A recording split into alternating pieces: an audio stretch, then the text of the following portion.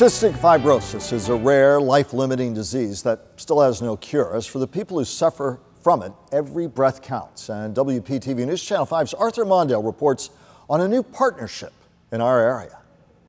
All right, are we gonna cook some sausage? Little Hailey is like most three year olds. Can you make me some food? One second she wants to cook, the next she wants to swing. Go, Hailey, go. Pull your strings. Say, yep, it's my favorite. But one thing she can't control on her own is a very serious health disease. A common cold could hospitalize her. Hailey suffers from cystic fibrosis, a chronic respiratory progressive disease that could cause life threatening lung infections and problems with digestion. It could potentially knock years off of her life. Even going shopping posed risks well before COVID. Certainly limit where we go. We navigate aisles a little more differently than the average person. We just don't go up and down aisles. We, you know, is there someone there? Let's maybe go this aisle and come back to this one. But public spaces aren't the only enemy.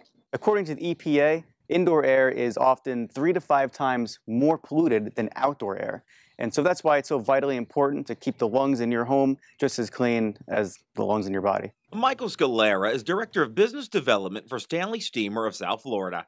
His technicians travel to the homes of cystic fibrosis sufferers to clean air handling systems, vents, and to provide a hospital grade antibacterial disinfectant and anti allergen. From the Treasure Coast, Sebastian, all the way down to Miami. With a mission to support and empower families with CF. Travis Suit is CEO and founder of Piper's Angels Foundation, a nonprofit that offers over a half dozen programs from life expanding activities to urgent financial assistance to families dealing with cystic fibrosis. Any day can go from normal to the hospital. Suit's daughter has cystic fibrosis. The new strategic partnership with Stanley Steemer is part of the nonprofit's commitment to inspire every breath. How valuable our time is. Arthur Mondale, WPTV News Channel 5.